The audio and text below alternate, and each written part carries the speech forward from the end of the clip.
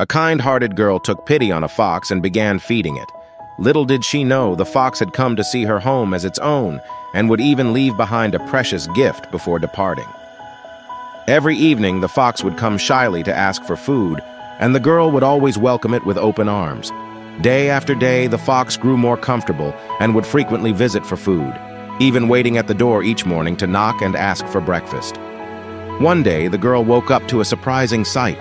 The fox was looking at her with a calm gaze, as if it had been waiting for her for a long time. Without saying a word, the fox turned and left, leaving the girl with a sense of realization. The young girl suddenly understood that the mother fox had entrusted her with the care of her cub, ensuring that her children would be well fed and nurtured.